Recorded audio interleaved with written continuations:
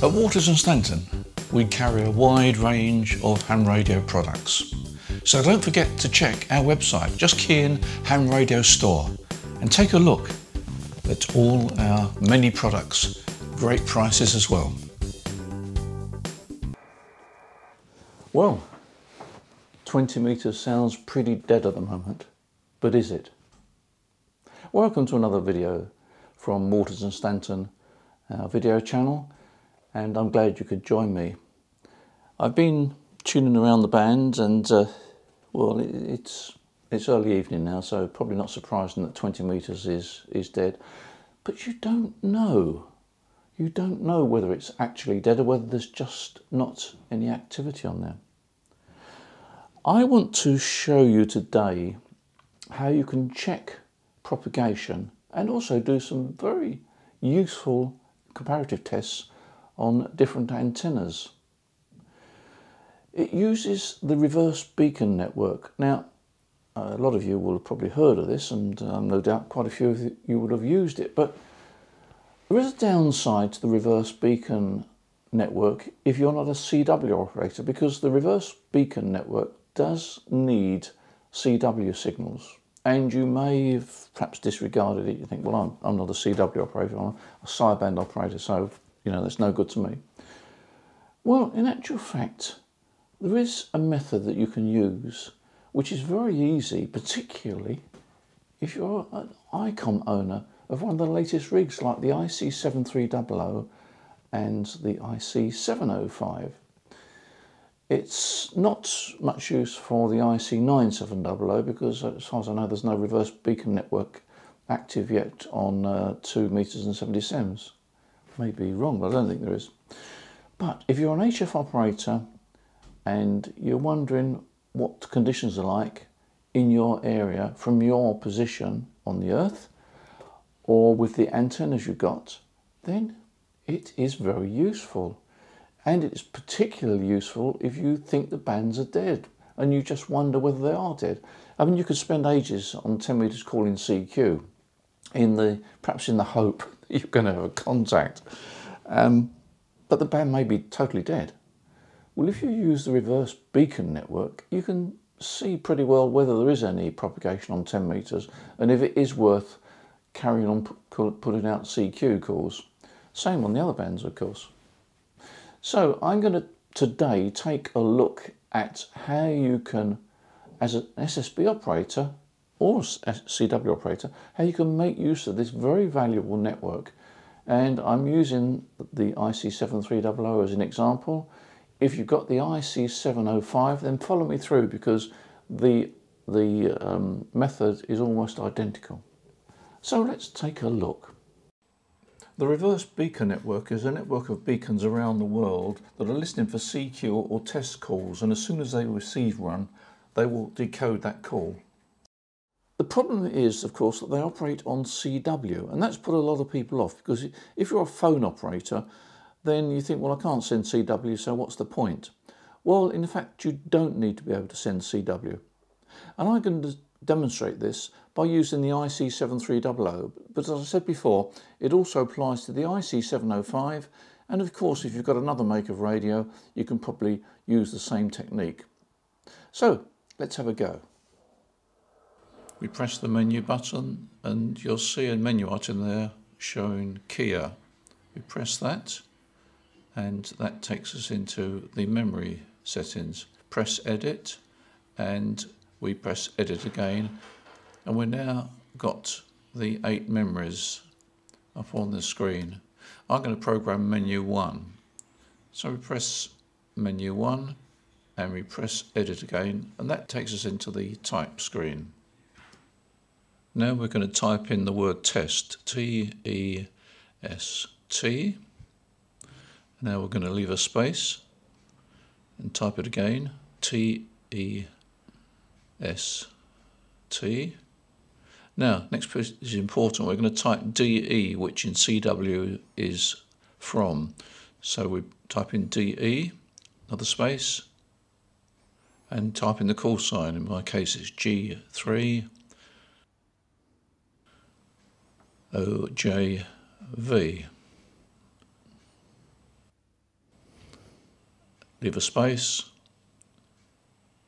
and we'll type that call sign in again. G3 OJV. That makes it easier for the reverse beacon to uh, pick the call sign up. Now we press in, enter, we can see what we've typed in. Test, test, D, G3OJV, G3OJV. Now I'm going to duplicate that message so it's sent twice and I can scroll through the original message with that arrow at the top right and I'm now going to enter that message again.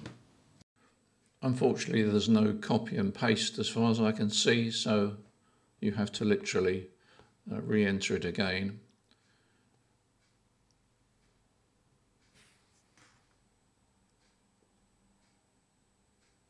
Right, there we are, done. Now, if I press enter, we can see the full message. Test, test, DG3OJV, G3OJV, test, test, DG3OJV, G3OJV. We now press return a couple of times and that takes us out. Right, we're now ready to go. So we press menu, we go up to keyer, press keyer, and we're now ready to press M1 where we stored our message and this will enable us to test the system out, send a message to reverse beacon, ready to see what the results are. And by the way, make sure that you've selected break-in so that when you send the message, the transceiver goes into transmit. To do this, select CW mode and then on the left-hand side, press the break-in button and that will indicate on the main panel. Make sure you've selected a quiet frequency. We've selected 14023 and now you're ready to go. Don't forget of course to set the keyer speed up. I set the keyer speed to 18 words a minute and also of course you must operate in the CW area of the band when you're sending out these test calls.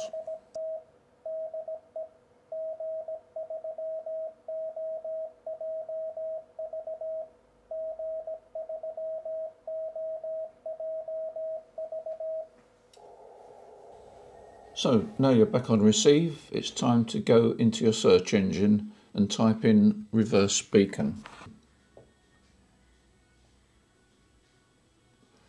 And now select spot search. And now type in the call sign, which in my case is G3OJV, and then press return.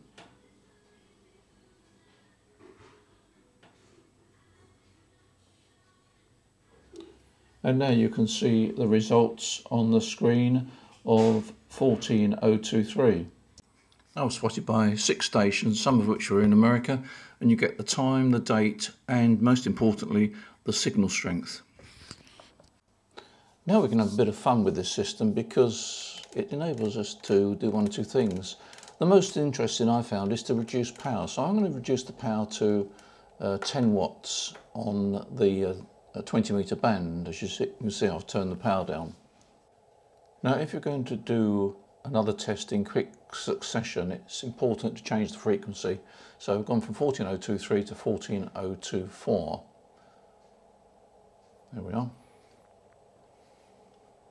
And now we're going to send out our test call again.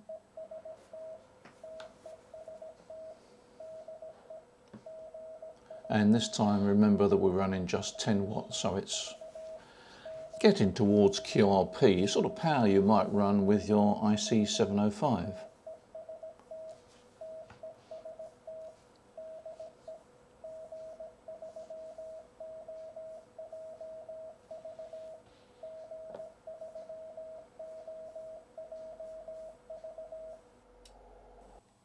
And now you can see we were only spotted by four stations, but one in America, which is not bad for 10 watts, with band conditions as they are at the moment. And of course you can use the same procedure to check bands such as perhaps 18 megahertz or 21 megahertz to see whether they're open. So you can use this system on most bands. Uh, several things you need to um, bear in mind is that the reports won't come through immediately. You may have to wait a minute or two minutes before you see the reports come up on the screen. So if you send out um, a beacon test and then find there's nothing uh, showing up on the screen, don't worry, leave it for um, a couple of minutes and then uh, have, a, have another look and you'll be quite surprised. I think what you will be surprised at is how the bands very often are open to areas that you're not hearing. In other words, there's no activity. And that really, I suppose, underlines the fact that you should actually put out uh, CQs. So what I normally do is to check the band, put out a test call and see what happens. If there's nothing coming back, then really and truly it's a bit pointless putting out a CQ. Um, but I've often found that, well, in fact, today I, I checked uh, 15 metres, 21 megs, which is absolutely dead. But I did get a beacon back from Russia, so there was propagation, albeit only about sort of 6 dB, but there was propagation to Russia. So if I had the time, it would have been worth putting out a few CQ calls. 18 megahertz is another example where the band is very often open, but there's nothing there. So it's, it's a very useful uh, tool. The other um, useful feature is to do antenna comparisons. Now, if you've got two HF antennas, then it's very easy to do the test on one antenna and then repeat the test on another antenna. It's best to change frequency so you can immediately see which antenna uh, you're looking at when you look at, look at the results. And also to repeat those tests a few times because band conditions um, can be very variable. And you might think there's a sort of a I know 6 or 10 dB difference between antennas. And that may simply be due to QSB so don't assume that because you check one antenna and there's 6 or 10 dB difference or whatever it is between that and the other antenna that that is actually true Uh, you need to repeat those tests several times before you come to a conclusion. The reverse beacon network is so available. I mean, you can you can access it either on a Mac or PC, of course, and you can do it on an iPad or your mobile phone or whatever, provided you've got access to the internet. So it's quite a useful feature. And uh, what I would suggest is that um, you perhaps take some photographs of the results or take some screenshots of the results for future reference, which uh, can be quite handy. So there we are. Okay, well, that's one way of checking propagation and uh, checking antennas. And although I've done the demonstration on the IC7300, um, as I said, I think already that it will apply to the IC705 as well. And if you've got other makes of rigs, you probably have got similar facilities. Uh, the good thing about the ICOM uh, transceivers, the, the current ones, is that you can actually type in the um, data, your, your, your test uh, and your call sign, um, because if you're not a CW operator, you may not have a CW key, of course. So it is very easy to, um, to, to, to type it in. And uh, it's, well, I found it very useful. So I hope you find it useful as well. And maybe it'll give you a few contacts on some of the bands that you thought were dead to areas that you thought weren't, uh, there was no propagation to. As usual, thank you for watching this video. Don't forget to press the subscribe button if you want to be informed of upcoming videos.